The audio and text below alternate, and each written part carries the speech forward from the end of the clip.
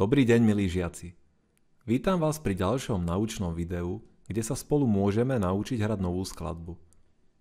Keďže sa stále nemôžeme stretnúť osobne, verím, že aj touto formou to zvládnete. Poďme na to. Ako budeš postupovať? Vypočuj si video, zaznač si poznámky, nalad si gitaru a začni cvičiť novú skladbu. Je to jednoduché. Aby sme však mohli pokračovať, budeš potrebovať tieto pomôcky. Vytlačené noty a farebné pastelky alebo cerusku. Keď budem hovoriť o niečom dôležitom, kľudne si video stopni a zaznač si to do. Po skončení videa sa začne venovať spoznávaniu skladby na gitare. Pred nacvičovaním skladby si prosím nezabudni naladiť gitaru. Skladba, ktorej sa budeme venovať, je od Ferdinanda Karoliho s názvom Andante. Skladba je napísaná v trojštvrťovom takte, to znamená, že si budeš počítať v jednom takte najviac do troch. V skladbe sa vyskytujú v melódii len štvrťové a osminové noty. Pri osminkách musíš čísla deliť na slabiky. Všimni si posledný takt v druhom riadku.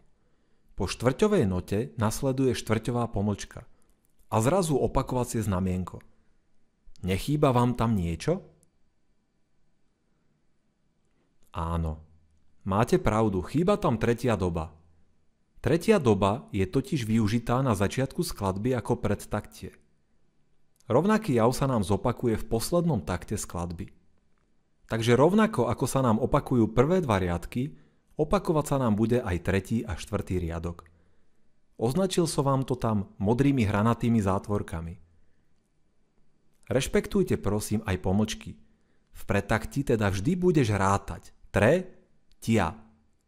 A potom pokračuješ na nasledujúci takt normálne od doby prvá a tak ďalej. V treťom riadku v druhom takte musíte počas tretej doby palcom zatlmiť bas. Tak isto urobíte aj v treťom takte v treťom riadku. Najťažším úsekom v tejto skladbičke je prechod z posledného taktu v treťom riadku na posledný riadok. Dodržte prosím správny prstoklad, preto som vám ten takt aj označil červenou farbou. Nebojte sa v predposlednom takte skladbe na záver spomaliť, aby bolo poslucháčom jasné, že je koniec skladby. Ešte jedna vec na záver. Pri opakovaní sa nebránte využiť iný register v pravej ruke – to znamená z naturálnej polohy nad otvorom presunúť pravú ruku smerom ku kobylke alebo nad hmatník a tak ovplyvniť farbu výsledného zvuku. Nie je podmienka, aby ste skladbu hrali v krokovom tempe, čo označuje názov Andante, ale po dobrom nacvičení tejto skladby môžete trošičku zrýchliť a hrať ju v tempe mierne, čo označuje slovom moderato. Prajem vám veľa trpezlivosti pri nácviku tejto skladby. Neklesajte na duchu, ak vám to spočiatku nepôjde.